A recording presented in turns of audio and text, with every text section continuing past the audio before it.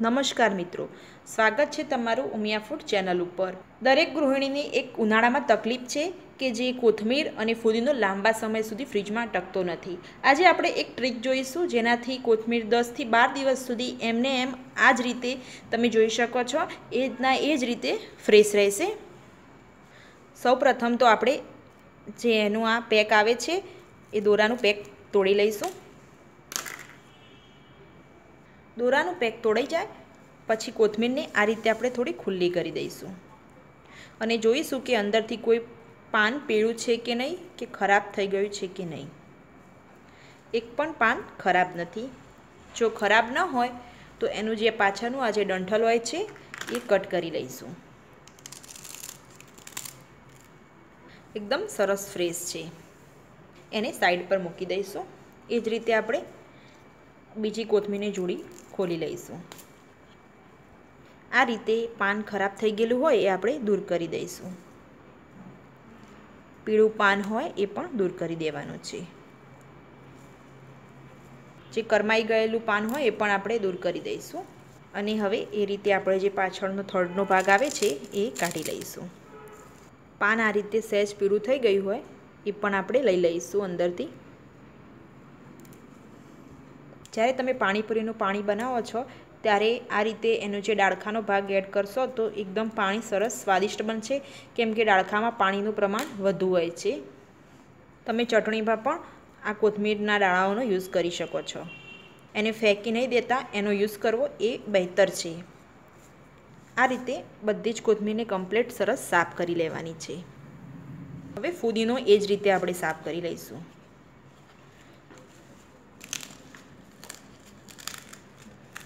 જો ફુદીનામાં અંદર જોડીમાં આ રીતનું સહેજ પાણી વળેલું હોય તો એને થોડી વાર માટે ખુલ્લો રાખી દઈશું. જેથી એનું પાણી એકદમ એબ્ઝોર્બ થઈ જાય, સરસ. કાળા પાન દૂર કરી દઈશું. અંદર કોહવાયેલા પાન હોય એ પણ આપણે દૂર કરી દઈશું. વસ્તુને કેટલું લાંબુ ચલાવવું એ ગૃહિણીની પહેચાન છે. સહેજ વાર માટે ખુલ્લો કરી દઈશું પંખાની છે. જેથી અંદર પાણી બધું જ સરસ સુકાઈ જાય. જો તમારે ઘરે ફુદીનો વાવવો હોય, તો તમે આ રીતે જે એના ડાળખા હોય છે, એ લાવીને એમના એમ જમીનમાં કે કુંડામાં રોપી દેશો અંદર, તો એમાંથી લગભગ અઠવાડિયા પછી ઓટોમેટિક એના ફણગા ફૂટવાનું શરૂ થઈ જશે. આ રીતે ફુદીનાને પંખાની નીચે એકદમ ખુલ્લો ખુલ્લો કરી દઈશું, જ્યાં સુધી પાણી સુકાઈ ના જાય ત્યાં સુધી. હવે જે આપણે કોથમીર કાપી હતી એ કોથમીરને લઈ લઈશું. આ રીતનું એક રસોડા માટે જે આપણે વાપરતા હોઈએ છીએ, એ કોટનનું કપડું લેવાનું છે. કપડાને આપણે આ રીતે પાથરી દઈશું અને એની ઉપર કોથમીર મૂકી દઈશું. તમે જોઈ શકો છો કોથમીરની નીચેનો પાણી, જે માટીનો ભાગ હોય છે, થળિયા એના આપણે લઈ લીધા છે. હવે આ કોટનના કપડાને આપણે જે કોથમીરની આજુબાજુ રેપ કરી લઈશું.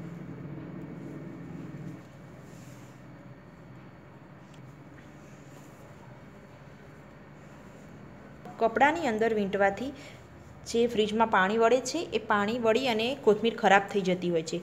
પણ આ રીતે જ્યારે વાળો ત્યારે તમે પાણી વળે, તો અંદર આ રીતે કોટનનું કપડું એ પાણીને શોષી લે છે. ઘણા લોકો આ કપડાને આવી રીતે વીંટી અને એમના એમ ફ્રીજમાં મૂકી દેતા હોય છે. પણ એ રીતે નથી કરવાનું. આપણે હવે આ જે રેપ કર્યું છે, એને આપણે એક પ્લાસ્ટિકની બેગમાં લેવાનું છે.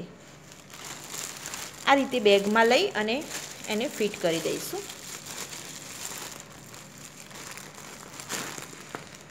હવા બધી બહાર કાઢી દઈશું આ રીતે કમ્પ્લીટ પેક કરી દેવાનું છે. હવે આ જ રીતે આપણે ફૂદીનાને પણ પેક કરી લઈશું. હવે એક એ જ રીતે કોટનના કપડું લઈશું અને ફુદીનો પણ એ જ રીતે મૂકી દઈશું અને ફુદીનાને પણ એ જ રીતે આપણે વીંટી લઈશું.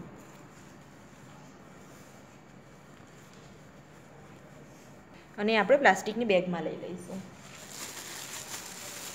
આ રીતે શાકને પ્લાસ્ટિકની બેગમાં જો ફ્રીજમાં મૂકવામાં આવે, તો જે એનો ગ્રીન કલર હોય છે, એ એમને એમ સરસ જળવાઈ રહે છે. તમે એ જ રીતે મીઠા લીમડાનો ડેમો જોઈ શકો છો. મેં આ લીમડાને વીસ તારીખે સ્ટોર કર્યો હતો. તમે લીમડાના પાન જોઈ શકો છો.